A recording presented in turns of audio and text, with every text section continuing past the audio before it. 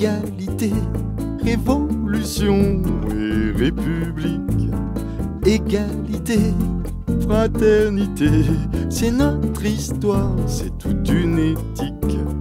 On nous convoite et nos voix vont au con, on les consacre que leur sacré con. Bonjour. Alors aujourd'hui, cette émission qui s'appelait Paroles de Gilets jaunes évolue et devient Paroles de citoyens. Euh, Il y a eu une rentrée des Gilets jaunes, Dominique. Oui, tout à fait. Le 12 septembre, nationalement, un petit peu partout, il y a eu de belles manifestations, et notamment à Aubenas, où, euh, de façon à marquer le coup par rapport à cette rentrée.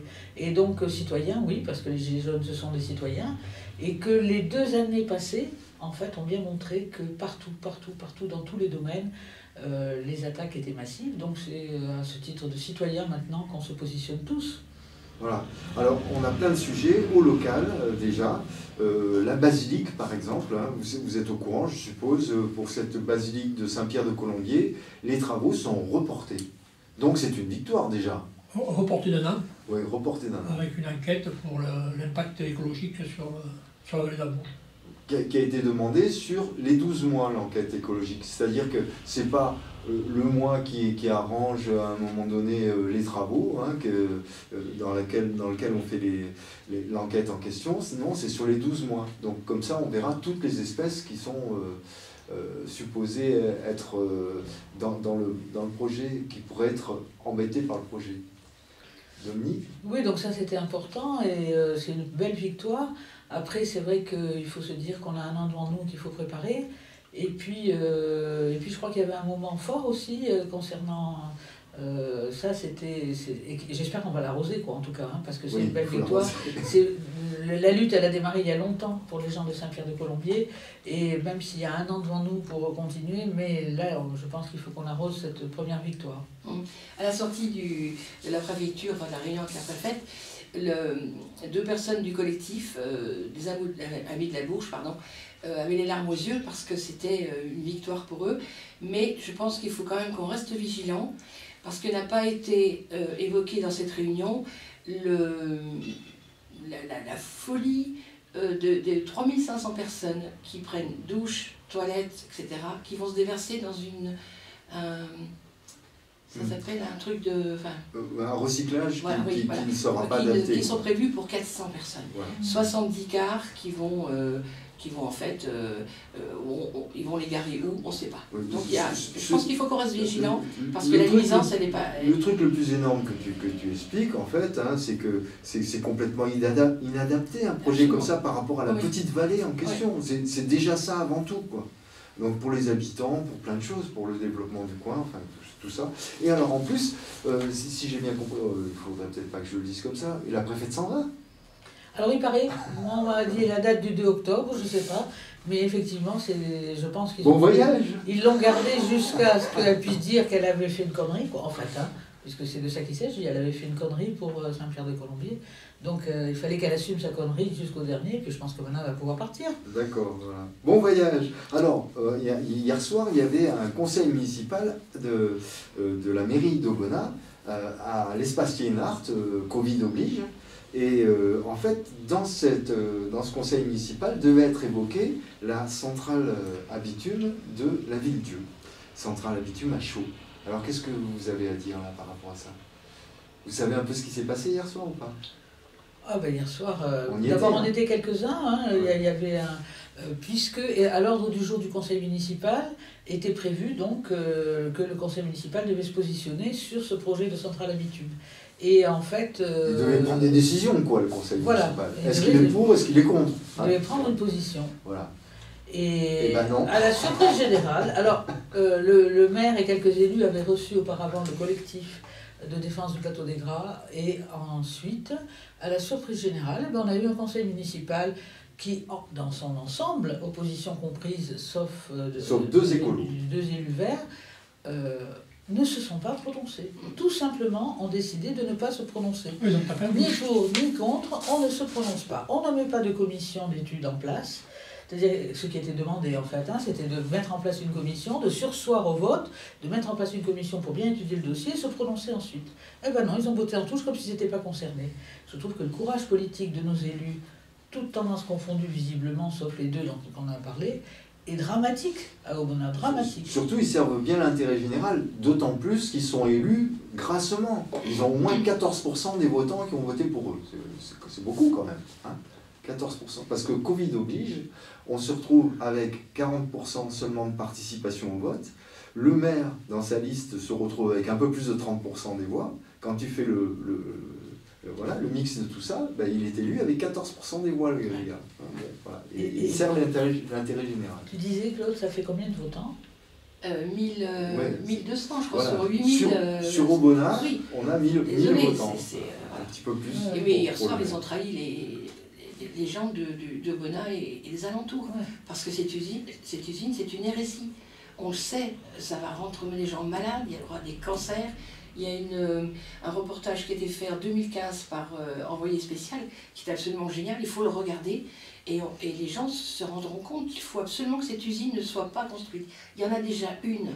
On va pas, euh, on va pas, je comprends pas. Enfin voilà. Ouais. Non, non, mais c'est une catastrophe, surtout, surtout de ne pas prendre position. Et donc, ces élus de l'opposition, parce que alors, là, eux, c'est encore pire, parce que là, on- à 14%, c'est la liste du maire. Les, les- élus de l'opposition, euh, eux, sont, ils sont peut-être à, à 8%, et encore, hein, je ne sais pas exactement. Ben, voilà, circuler, il n'y a rien à voir, ils ne prennent pas position. D'au- D'autant que ce projet a aussi un impact sur l'eau et, et qui, qui émerge. un peu, puisque Mais c'est tout le bassin qui est concerné, c'est- Voilà. c'est pas juste la le- milieu, hein, ne sûr, racontez pas tout le bassin de l'eau, Tout le bassin. tout le bassin de l'eau de- du territoire qui est concerné. Surtout que dans le calcaire, c'est très, très Ouais. perméable. Donc l'eau- Exactement, ça filtre L'eau rentre très vite dans, dans les Ouais. sols et euh, se retrouve dans les nappes phréatiques, se retrouve dans la rêche. Voilà, ça va très très vite. Après, il n'y a pas de. C'est pas, pas argileux, enfin, c'est c'est très poreux, donc euh, évidemment, Ouais. ensuite, ça se retrouve Alors- dans, dans le sous-sol. Il y aura une petite vidéo sur Pluriel sur, en compte rendu de, ce- de ce qui s'est passé hier soir parce que en fait euh, le gars du collectif explique bien tous les, tous les problèmes qu'il est venu expliquer au maire quand même. Et quand ils, ils ont eu quand même tous ces problèmes en face, ils ne prennent même pas la, la peine de se dire on va réfléchir un peu. Non, non, voilà. C'est grave, c'est grave, gravissime. Donc sur Pluriel, vous pourrez, vous pourrez voir cette petite vidéo euh, dans la journée. Alors, troisième sujet, les cartonnages.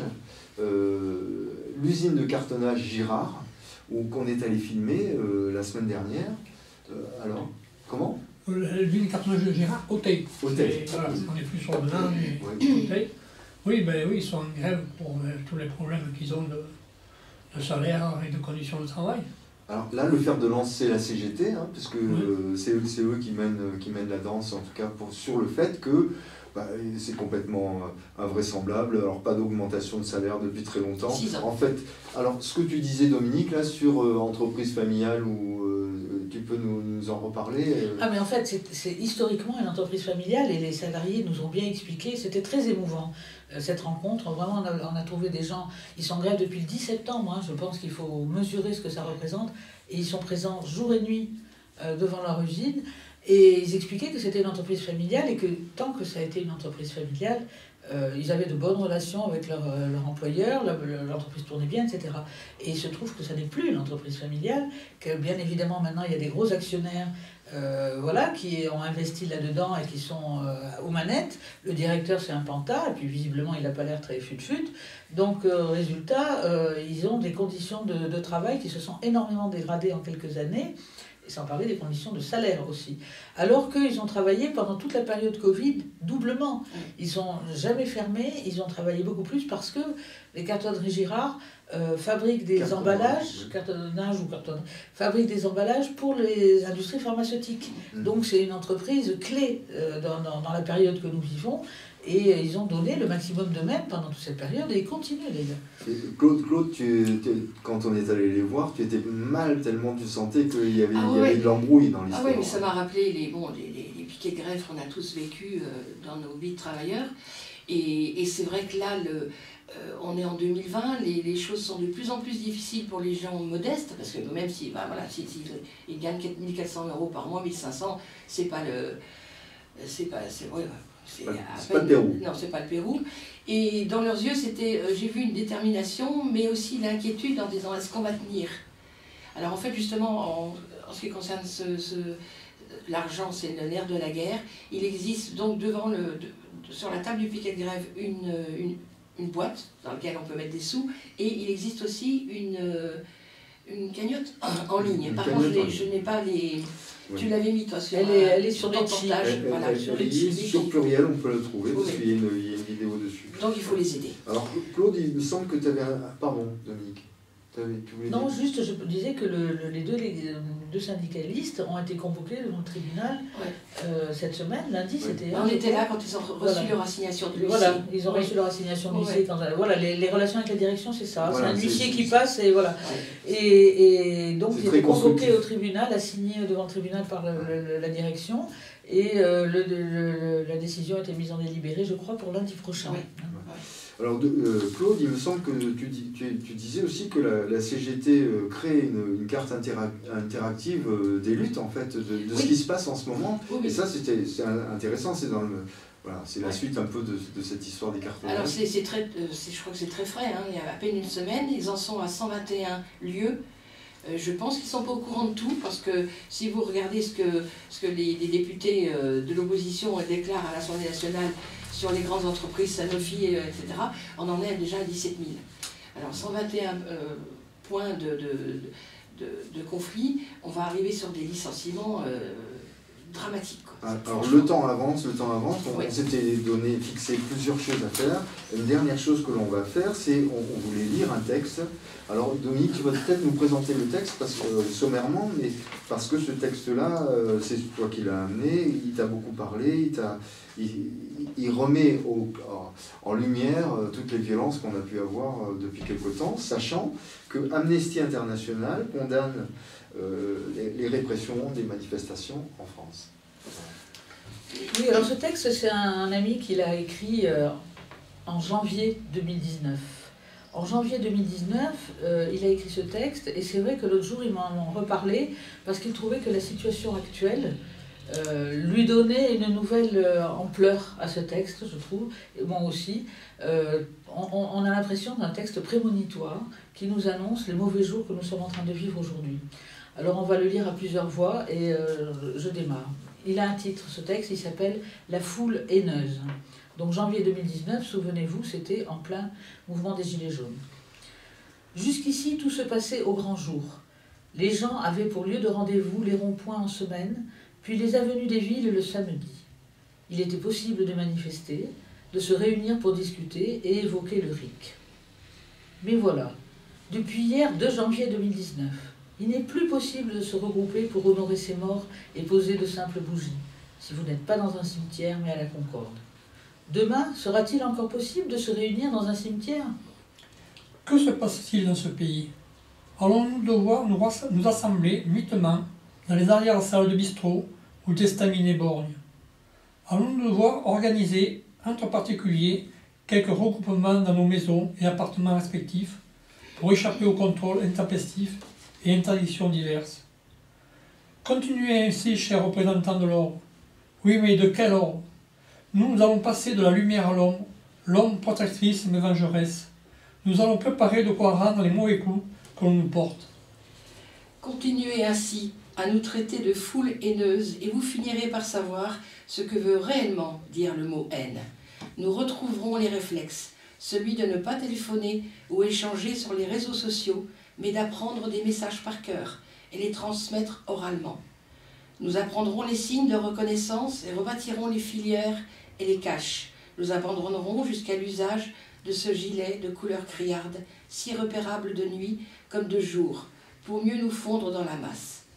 Nous allons nous organiser, nous allons fomenter, nous allons cuire et recuire notre bile, notre mécontentement dans une joie fébrile de fraternité retrouvée, car vous devenez une cible. Alors évidemment, ça fait penser à la résistance et à la fin du texte. Prenez peur, vous nous violentez, alors nous ne nous laisserons pas faire. Voilà. Alors, juste euh, trois petites dates pour finir euh, notre émission. Voilà, oui, donc euh, le 4 octobre, au Béage à la montagne, la, Confédération, paysanne alors, organise sa fête paysanne. Donc, évidemment, ils n'ont pas eu beau temps, mais ça n'empêche pas, il y a la salle quand même de, du Béage, de la, commune, Après le 10 octobre, toujours, à 16h, conférence, plus un concert à Saint-Michel-de-Boulogne. Conférence gesticulée. Gesticulé, oui. Et le 13 octobre, la réunion publique de Plus jamais ça à la bobine à partir de 20h. Voilà. Et juste une précision à Saint-Michel-de-Boulogne, le thème, c'est la sécurité sociale alimentaire. voilà. À bientôt. Au revoir. Au revoir. Au revoir.